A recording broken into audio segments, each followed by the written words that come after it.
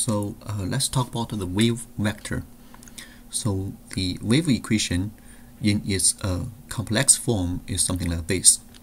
So the A is amplitude, so depending on what kind of uh, electric magnetic field, like the electric field or magnetic field, you have a unit. And then this is complex form, and V is a frequency. It is the number of cycles per unit time. Um, basically, is the inverse of the period. And lambda is wavelength in the unit of millimeter. Um, actually, um, the wave equation, the real wave, is is is by taking the real part of this complex form.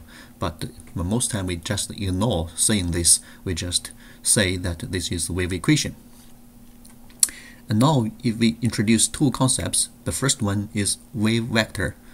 Actually, the wave number of spatial frequency is just the magnitude of the wave vector.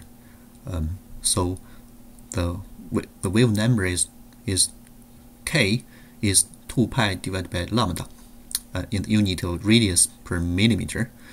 And another concept is angular frequency, um, omega equal to 2 pi divided by the period, and in the unit of uh, radius per second.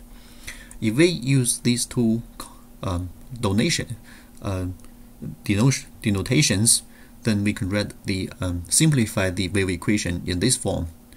So it's very simple, and in the three dimension in the space, um, we can write it like this. So k is actually the vector. This is dot product of the wave vector and the spatial vector.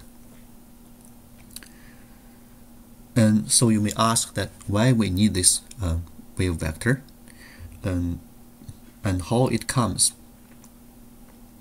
So in the time domain, uh, like if we if we uh, write the or plot the wave equation in the time domain, it's something like this. So this is a period, and if we write the equation, it is it is same. This is same form, same 2 pi times t divided by the period. In this way, we can represent the wave in any uh, time. Then, if we re rearrange this part, it is 2 pi divided by t times the t. And then we name this part uh, angular frequency. And now, because the waves not only oscillate, oscillate, oscillate in the same spot or same location like the antenna, it also has a spatial distribution.